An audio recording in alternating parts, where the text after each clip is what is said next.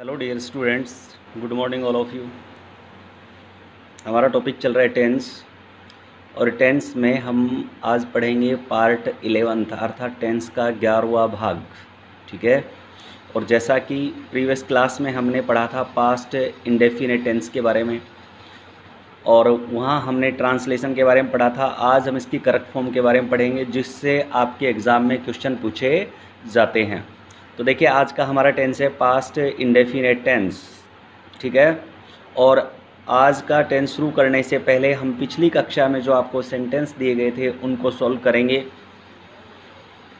H W of last class की पिछली कक्षा में जो आपको एच डब्ल्यू दिया गया था, उसको बड़े ध्यान से हम पढ़ेंगे यहाँ पे। बहुत ही अच्छे सेंटेंस दिए गए हैं। तो देखिए, पहला सेंटेंस हमारे पास है, गत वर्ष हमने दिवाली बड़ी धूमधाम से मनाई। तो आपको कहीं कंफ्यूज होने की आवश्यकता नहीं है।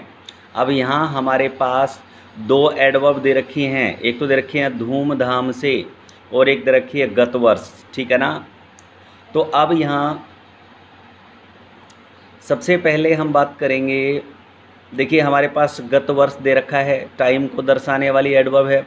तो पहले इसको ट्रांसलेट करेंगे गत या पिछला के लिए हम यूज़ करते हैं लास्ट वर्ष के लिए ईयर तो लास्ट ईयर अब हमारे पास सब्जेक्ट कौन है? हमने हमने बोले तो हम, बोले तो वी ठीक है? और मनाना को बोलते हैं सेलिब्रेट और यहाँ हम सेलिब्रेट की कौन सी फॉर्म यूज़ करेंगे?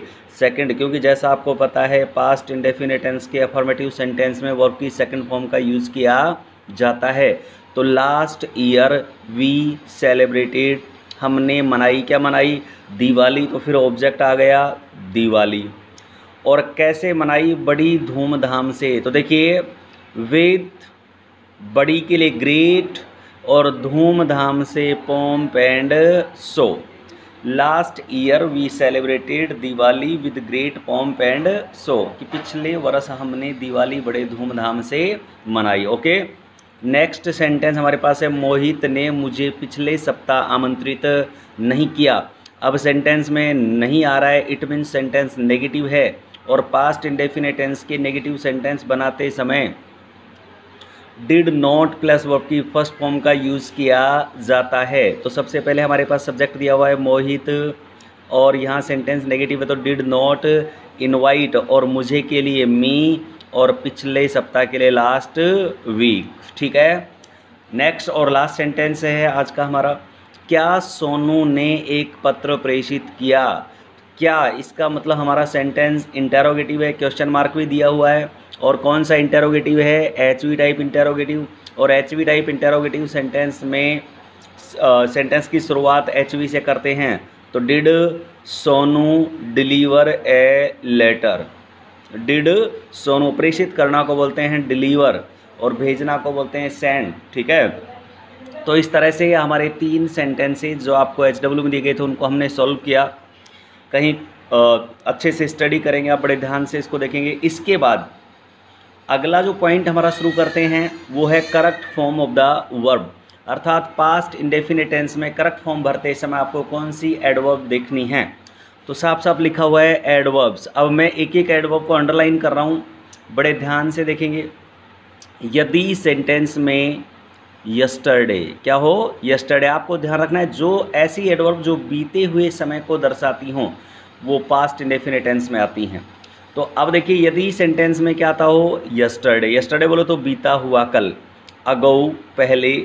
डे बैक क्या है? डे बैक चाइल्डहुड चाइल्डहुड बोले बचपन एनेशियन टाइम प्राचीन काल में ओल्डन डेज़ पुराने दिनों में यूथ लास्ट या प्रीवियस लास्ट या प्रीवियस उसके बाद चाहे डे आए, चाहे वीक आए, चाहे मंथ आए, चाहे ईयर आए, चाहे दिवाली आए, चाहे होली आए वट जो भी कुछ भी हो, ठीक है? लास्ट या प्रीवियस लग के कुछ भी आता हो, कोई भी टाइम आता हो तो वहाँ कौन सा टेंस होता है? पास्ट इंडेफिनेट टेंस इसके अलावा यदि सेंटेंस में वंस आता हो, क्या आता हो? वंस जैसे अपन पढ़ते हैं ना वंस देयर वाज तो वहाँ पे वाज आ गया ना? क्यों? वंस के अकॉर्डिंग वंस आता हो, या फिर 2018 जैसे 2018 है, बीते हुए टाइम को दर्शा रहा है 2010 है, आदि एडवर्ब्स आए तो करेक्ट फॉर्म भरते समय अफॉर्मेटिव सेंटेंस कौन से सेंटेंस अफॉर्मेटिव सेंटेंस में वर्ब की सेकंड फॉर्म का यूज़ करना है। कौन सी फॉर्म का? वर्ब की सेकंड फॉर्म का और सेंटेंस नेगेटिव और इंटेरोगेटिव हो। कैसा? और नेगेटिव और इंटेरोगेटिव सेंटेंस में डिड प्लस वर्ब की फ़र्स्ट फॉर्म का यूज़ किया जाता है। अर्थात अफॉर्मेटिव सेंटेंस आएगा, तब तो वर्ब की कौन सी फॉर्म आएगी? सेकंड और यदि सेंटेंस आपका इंटर नेगेटिव या इंटेरोगेटिव होगा तो डिड प्लस वर्ब की फ़र्स्ट फॉर्म का यूज़ किया जाएगा। एग्ज़ाम्पल के माध्यम से हम इस कंसेप्ट को क्लियर करेंगे। जैसे आपको देखा एग्ज़ाम्पल में देखिए आप। V two meet my friend last night तो अब हमारे पास यहाँ एडवर्ब में क्या दिया हुआ है? लास्ट नाइट तो लास्ट के टाइम को दिया हुआ है। इट मीन्स हमारे इस सेंटेंस में कौन सा टेंस है? पास्ट इंडेफिनेट टेंस सेंटेंस हमारा कैसा है ये? जैसा आपको पता है सेंटेंस हमारा है सर, ये अफॉर्मेटिव क्योंकि ना कहीं नोट है, ना कहीं क्वेश्चन मार्क है, इसका अफॉर्मेटिव सेंटेंस है, और अफॉर्मेटिव सेंटेंस में वर्ब की सेकंड फॉर्म का यूज़ किया जाता है। तो हमारे पास दे रखा है गो और गो की सेकंड फॉर्म होगी वेंट क्या होगी? वेंट तो यहाँ हमने पहले सेंटेंस में भर दिया गो की सेकंड फॉर्म को वेंट को। अगला सेंटेंस हमारे पास दिया हुआ ही blank not blank me on his last birthday अब यहाँ भी क्या दे रखा है हमारे पास? लास्ट प्लस ओकेजन ठीक है? तो यहाँ भी पास्ट इंडेफिनेट टेंस है। सेंटेंस में क्या दिया हुआ है? नोट इट मीन्स हमारा जो सेंटेंस है वो नेगेटिव है। कैसा है? नेगेटिव और नेगेटिव सेंटेंस में डिड प्लस वर्ब की फ़र्स्ट फॉर्म का यूज़ किया जाता है। तो अब यहाँ हमारे पास आएगा, पहले ब्लैंक में एच वी बोले तो डिड दूसरे ब्लैंक में मेन वर्ब बोले तो इनवाइट डिड नॉट इनवाइट ठीक है? नेक्स्ट और लास्ट सेंटेंस बहुत ही अच्छा इंपॉर्टेंट सेंटेंस है। अक्सर एग्ज़ाम में कई बार पूछा भी गया स्टार लगा दिया मैंने इस सेंटेंस को, ठीक है? इसके दो प्रकार के सेंटेंस हैं, जो मैं एक आपको एस डब्ल्यू में दूँगा, एक आपको यहाँ सोल्व करवा रहा हूँ। तो देखिए इंडिया ब्रैकेट में रखा है गेट फ्रीडम इन 1947 कि भारत ने उन्नीस सौ सैंतालीस में आज़ादी प्राप्त की तो 1947 1947 बीते हुए टाइम को दर्शा रहा है। ठीक है तो it means past indefinite tense है। यहाँ दे रखा है गेट और यहाँ गेट की सेकंड फॉर्म हो जाएगी क्या? गॉट ठीक है तो इंडिया गॉट फ्रीडम इन 1947 ठीक है, इसके बाद नेक्स्ट पॉइंट के माध्यम से आपको दूसरा कंसेप्ट समझाया जा रहा है। ये तो हमारे एडवर्ब के आधार पे था। ठीक है अच्छा हो तो एडवर्ब का स्क्रीनशॉट ले सकते हो वीडियो को पॉज करके।